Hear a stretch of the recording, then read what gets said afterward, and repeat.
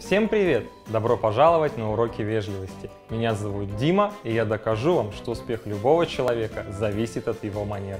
Многие считают, что на работе нужно вести себя в соответствии с правилами этикета, а вот дома можно расслабиться. Так сказать, на работе душечка, дома неряха. Правильно ли это? Сейчас узнаем.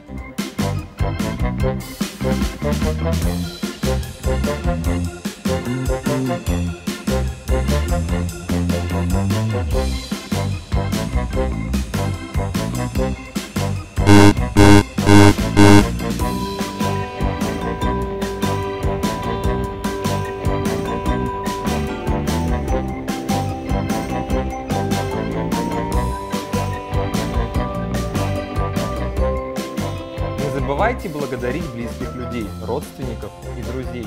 Их добрые поступки и готовность предложить свою помощь не обязывают, а выражение чувств, достойной благодарности. Ваша благодарность делает мир светлее.